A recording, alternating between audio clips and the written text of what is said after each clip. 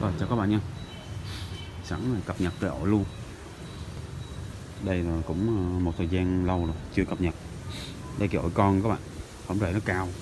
Tại vì để ra ngoài nó nắng này như thế này Các bạn nhớ không? Có hai cái ổi con Thì đây là một trong hai cây à, Cây này Cây này nữa. Cây này thì nó nó sơ sát quá.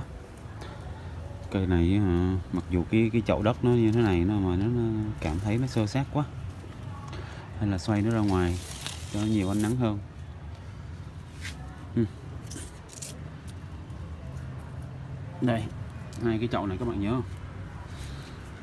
Thì một cây nó đang phát triển quá nè đang cao cao từ từ lên. Còn cây bên kia thì nó nó nó sơ sát nó nó ảo ụt quá.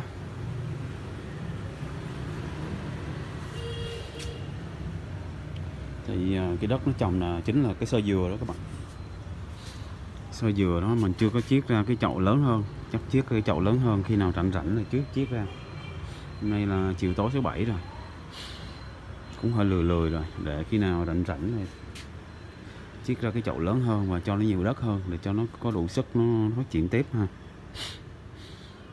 Đó, thì cái thân nó nhỏ xíu à.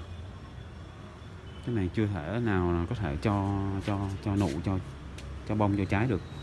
Nè, cái thân cái gốc của nó nhỏ xíu à